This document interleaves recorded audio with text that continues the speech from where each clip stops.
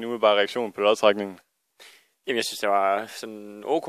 Øh, det, kunne, det kunne være værre, det kunne også have været bedre, men øh, et, et, et, et, måske et af de mellemhold i forhold til, hvad vi kunne have, have trukket. Så øh, det er sådan en ok lodtrækning. Hvem havde du af favorit i forhold til de her seks modstandere, det kunne blive?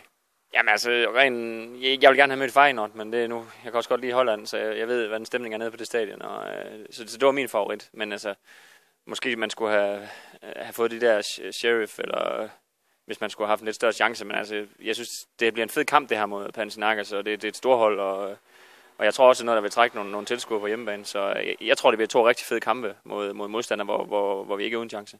Ja, fordi hvordan ser du chancerne mod Panathinaikos? Jamen, jeg kender overhovedet ikke hold. Jeg ved, at de har en svensk angriber dernede. Udover det, så kender jeg faktisk ikke til det. Så øh, det eneste, jeg ved, det er, at jeg har spillet to gange i Europa League med, med Herrenfinn i, i, i Grækenland, og der er voldsom stemning dernede. Øh, så det bliver rigtig fedt, og der skal vi, der skal vi snakke lidt sammen ind på banen holde sammen, fordi der bliver man blæst ud. Så øh, det bliver en stor oplevelse at komme derned, øh, men jeg synes, vi har en okay chance.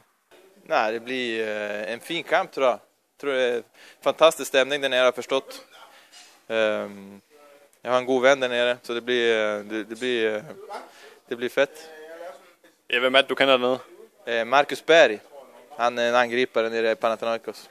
Så han... Eh, nej men det blir fint. Det blir fint. Jag var till hans bröllop nu här i somras så det blir, det blir spännande.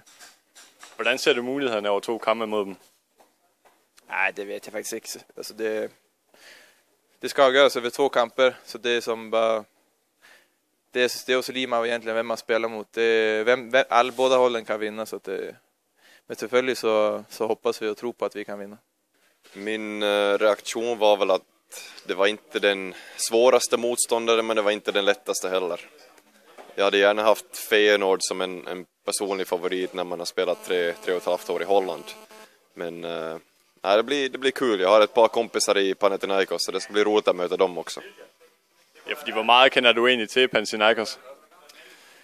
Nej, som lag känner jag inte dem jättemycket, men, eh, men Marcus Berg, deras bästa anfallare som har gjort jättemånga mål de senaste två åren, så, så han har jag spelat mot några gånger och han har också spelat i Groningen. Um, sen en annan svensk, Emil Bayrami, också där, så, så de har ett hold med många bra spelare.